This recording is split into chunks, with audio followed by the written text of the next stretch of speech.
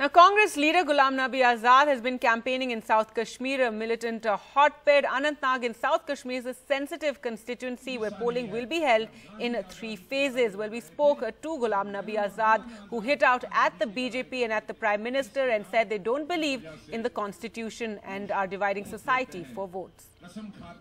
Azad Saab, how difficult it is to actually campaign in South Kashmir.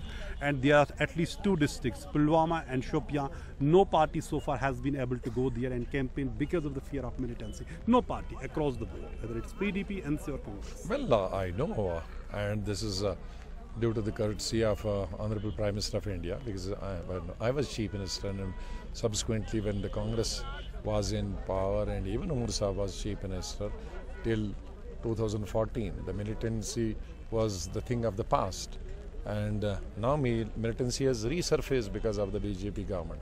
As a matter of fact, the situation is almost the same as it uh, began in the early 90s. So the things have not changed. Things have gone from worse bad to worse. This is the first, uh, you know, constituency, first time in the India's electoral history that elections for one constituency, which is this constituency, in South Kashmir and Anantnag, is being held in three phases, which explains the gravity of the situation. But the, uh, this also explains the incapacity and incapability of this uh, present government at the national level, because in uh, November 2007, hmm.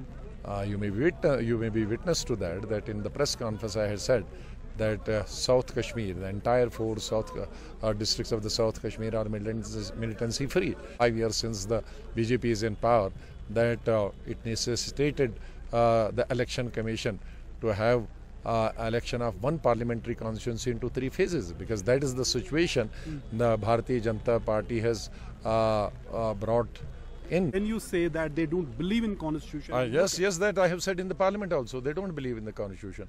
It is not literally that you have to say that I don't believe in the constitution.